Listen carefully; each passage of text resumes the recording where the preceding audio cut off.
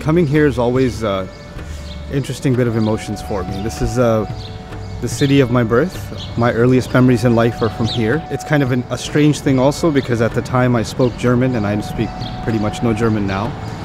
But the city's also important for me because of other reasons. I've met some of the most enthusiastic students I've ever had in Germany, very dedicated, extremely, extremely committed for years and years and years.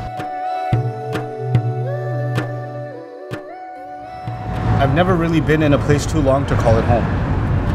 And then it becomes a faded memory and I move somewhere else because my dad was kind of nomadic because of the embassy. Kind of spent some years in one place, spent some years in another, some years in another. And so this place is home, but not. It's familiar and not at the same time. It's incredible. But I think that's something that a lot of people can relate to now, not physically, but just not feeling the sense of connectedness to one place or to one thing and to be on the move all the time. The world is so fluid now, right? And that's okay to not have an anchor to a place.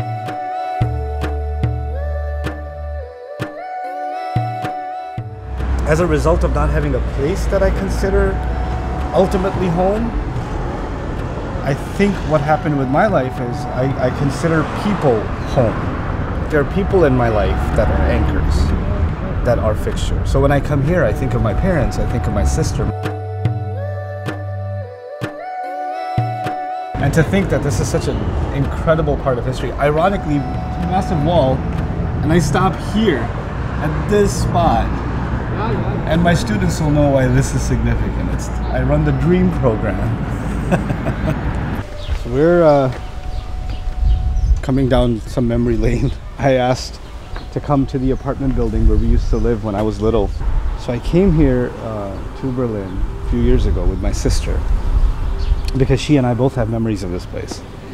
And we stood right there, it was nighttime, and our volunteers that were helping us put the program together came and we took a picture right there. This is a really heavy moment for me because she's no longer with us. This is one of the things that our younger siblings, I have two younger sisters, they don't have memory of this. They, they are, they're a later part of our life. But this is something I shared especially with Simon. So it's a really powerful and beautiful memory to be able to think that I was here with her. This reminds me of her a lot. And she used to do all kinds of tricks on that park and all the kids used to clap and they used to be like, how do you do that? Allah.